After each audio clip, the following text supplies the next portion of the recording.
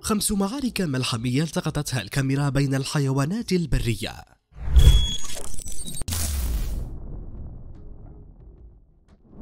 مرحبا بكم متابعينا الكرام في فيديو جديد من قناة عالم المعرفة. لا تنسوا الاشتراك بالقناة وتفعيل جرس الإشعارات ليصلكم كل جديدنا. نتعلم من الطبيعة كل يوم درسا جديدا. وهذا ما يجعلها مميزة. لذا سنعرض عليكم اليوم خمس معارك ملحمية صارت بين حيوانات برية. سنجاب ضد أفعى. إن السناجب حيوانات فضولية وتمتلك الشجاعة الكافية للاشتباك مع أفعى لحماية منطقتها فتعتمد على سرعتها والهجمات المراوغة في مناوشاتها فندرك حجم العدائية والرحمة في عضها للجزء اللين للأفعى. يبدو أن هذا السنجاب قد اعتاد على مثل هذه المناوشات الصغيرة ولكن الهيبة في عالم الحيوانات تكتسب فقط بالقتال سواء لحماية المنطقة أو صغارها أو حتى للنجاة وحماية نفسها. فمن دون أدنى شك ستتغير نظرتك نحو السناجب بعد هذا الفيديو.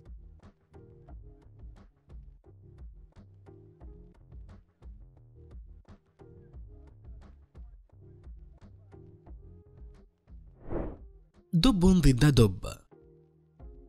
قد تتناوش الدببة عادة مع بعضها البعض وفي معظم الأوقات للهيمنة في فترة التزاوج أو للحفاظ على منطقتهم. إن الدببة حيوانات ضخمة وتتمتع بقوة عضلية كبيرة. وبالتالي فمناوشات من هذا الصنف. قد تسبب إصابات جادة وقد تكون مميتة في بعض الأحيان. قد يصل وزن الدب البني إلى 680 كيلوغرام. وهذا ما يجعله واحدا من أضخم الحيوانات المفترسة على وجه الأرض كما أنه يتمتع إلى جانب ذلك بحاسة قوية للشم وسرعة وخفة كبيرتين. فمن المعروف أنه يمكنه هزيمة حصان على بعد مسافة قصيرة.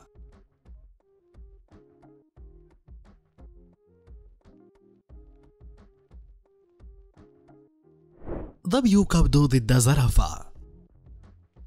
تشاهد الآن ظبي كاودو قرر تقييم قوته مع أطول حيوان في كلا حديقة الحيوان والعالم كله.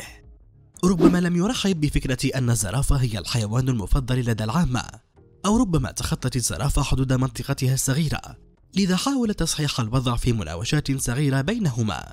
إضافة إلى حقيقة ذباء الكود كانوا قليلي العدد فلم يتحصلوا على القدرة الكافية من الانتباه زيادة إلى ضيق مساحة مجالهم. لكن الفكرة تكمن في احتمالية اشتراك صنفين للمنطقة نفسها أو المزاج العدائي لهذه الحيوانات بعد فترة التزاوج أو لربما الانفصال الظبي عن قطيعه.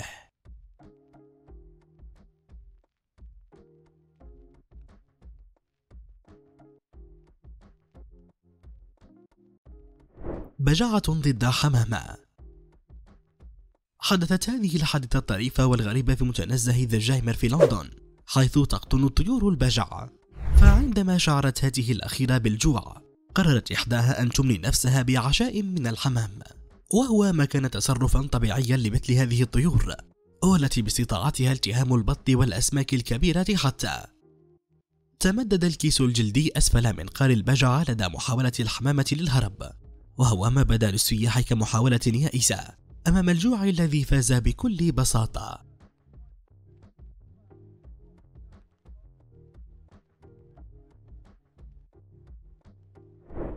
أرنب ضد أفعى. قامت أفعى شريرة بمهاجمة صغار أرنب في وكرهم. لا علم لنا بما حل بالصغار. ولكن الأرنب الأم وصلت للموقع في غضون لحظات وبسخط هاجمت الدخيل فورا رغم عدم امتلاكها لأي تقنيات أو مهارات هجومية لإبعادها عن وكرها. وانتهت المعركة بطريقة مثالية وعلى نحو فعال جدا بالرغم من الخسائر التي تعرضت لها الأرنب. لكن هذا هو قانون الحياة الذي علينا تقبله.